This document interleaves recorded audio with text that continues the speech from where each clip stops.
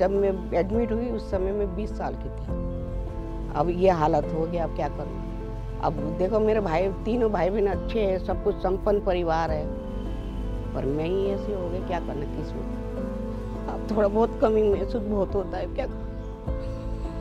आज तक तो सब अच्छे रहे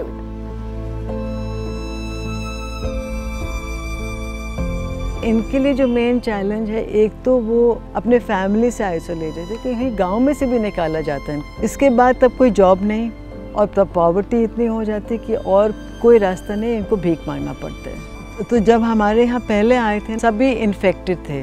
क्योंकि उनको सीधा लाइक रेलवे स्टेशन में मिले रोड पे मिले और सीधा यहाँ रेफरल मिला दे वर ऑल इन्फेक्टेड उनका ट्रीटमेंट हुआ, जो भी लेप्रेसी का ट्रीटमेंट है, उनको ट्रीटमेंट हुआ और डेली सुबह और शाम इनके वूंड्स की क्लीनिंग होती थी। एज पर न्यूट्रिशनिस्ट के एडवाइस से डेली इनके यहाँ मिल्क की सप्लाई होती है। ट्वाइस वीक इनकी वेजिटेबल्स आ जाते हैं। तो यदि हमारा सेंटर नहीं होता तो अभी जितने 200 लोगों का हमने शायद कुछ सुविधा दिए तो वो अभी रास्ते पे ही रहते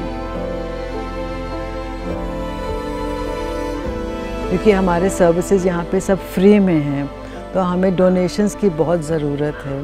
Please help and please support ताकि हम लेप्रेसी पेशेंट्स का हेल्प कंटिन्यू कर सकें।